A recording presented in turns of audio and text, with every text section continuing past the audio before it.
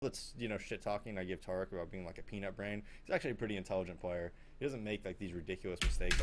Thank you, Jesus Christ. You know you don't know how annoying it is hearing.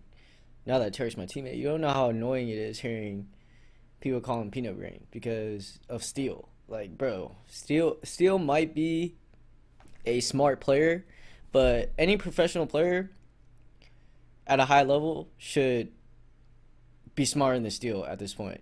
The only reason people think Steel is smart is because Steel expresses everything. Like every time he dies, every time he watches someone, he expresses his opinion. He always explains why they do that and tries to make a better play. Anyone can do that. Any professional player can do that.